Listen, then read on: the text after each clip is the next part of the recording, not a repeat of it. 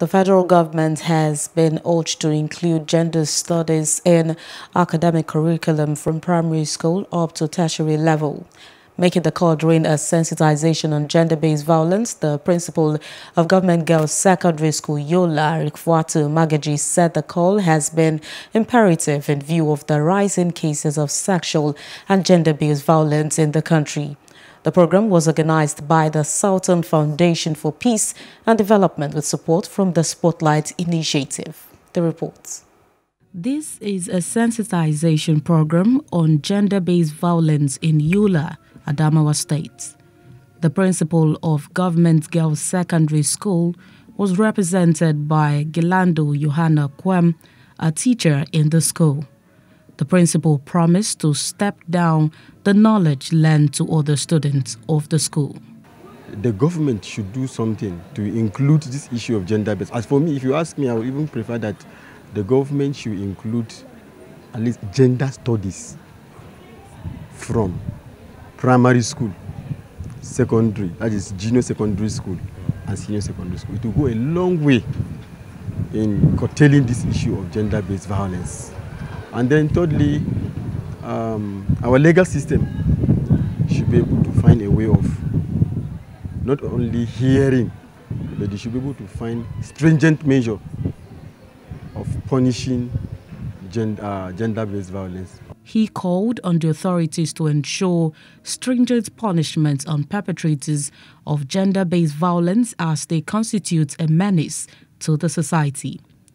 Also speaking, Amina Mohamed Ali, the program assistant of the foundation in Adamawa State, noted that the aim of the project is to work with relevant stakeholders, including traditional religious and youth leaders, to end the menace which has become rampant over the years. What we are trying to do is that in this second phase, we are going to engage girls uh, and boys in secondary schools and also uh, boys in tertiary institutions to see how we can uh, bring a shift in the social and gender norms or gender stereotyping in regards to women and girls so that the girl child or the woman is allowed to, uh, uh, how will I say it, obtain her full potential in life and her livelihood so that she can be a better person for herself and the society. She called on the general public, especially parents, not to hesitate in reporting any form of gender based violence, noting that the lethargic disposition of communities towards such cases makes perpetrators to be emboldened to commit more of such atrocities in the future.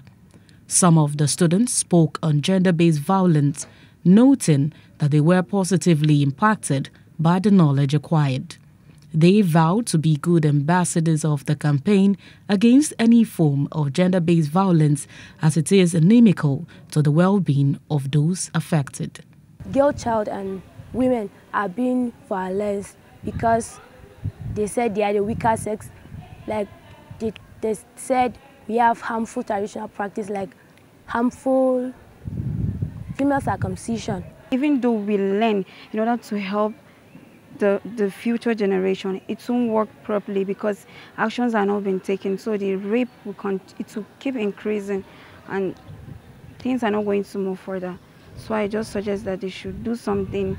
Also speaking, the representatives of the National Human Rights Commission, Fatima Mandara, urged the schoolgirls not to hesitate in reporting any form of sexual based violence to the authorities, adding that our organization is always ready to receive and act on any form of human rights violation. If violated, you should report it to our office.